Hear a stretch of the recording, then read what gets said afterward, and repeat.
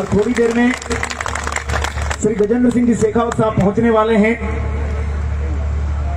उससे पहले हम निकलने वाले हैं।